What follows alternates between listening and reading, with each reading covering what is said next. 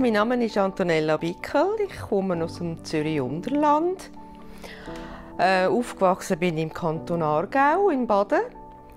Und äh, mein gelernter Beruf ist Dentalassistentin. Im Januar 2019 habe ich hier angefangen im Onkozentrum in der Enge als Pflegeassistentin. In meiner Funktion als Pflegeassistentin kümmere ich mich um zwei Personengruppen. Das eine ist das Pflegeteam und das andere sind Patienten und Patientinnen.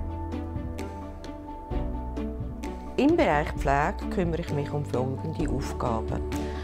Blutproben, Materialbestellungen, logistische Unterstützung in verschiedenen Bereichen, Desinfektion der Räume. In der Küche schaue ich, dass auch alles funktioniert und sauber ist.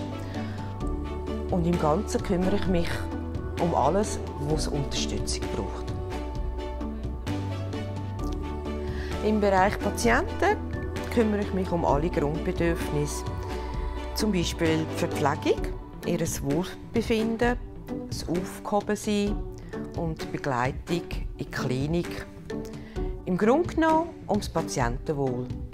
Um die Arbeit als Pflegeassistentin zu machen, ist sicher sehr von Vorteil, wenn man beobachten kann, mitfühlend ist und flexibel.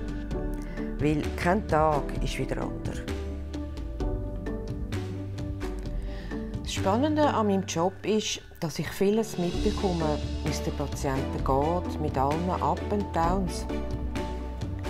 Ich kann meine Arbeit zum Teil selber einteilen und ich kann mit allen onkologischen Berufsgruppen zu tun was das Ganze sehr interessant macht.